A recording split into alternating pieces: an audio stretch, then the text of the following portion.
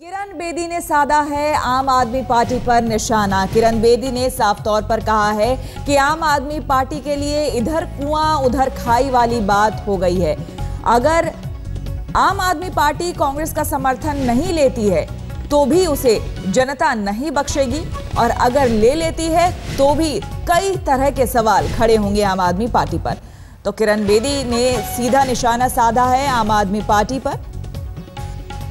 किरण बेदी ने कहा है कि इधर कुआँ, उधर खाई। की स्थिति में है इस वक्त आम आदमी पार्टी? सरकार बनाई तो विरोधी से भी नहीं बच पाएँगे। सरकार बनाई तो विरोधी से मिलाएँगी हाथ। क्योंकि शुरू से ही कांग्रेस का विरोध करती आई है आम आदमी पार्टी। ज़ाहिर सी बात है, यही तमाम मुद्दे खुद आम आदमी पार्टी के नेताओं के जहन में भी थे। इसीलिए राय शुमारी का कार्यक्रम शुरू किया गया है।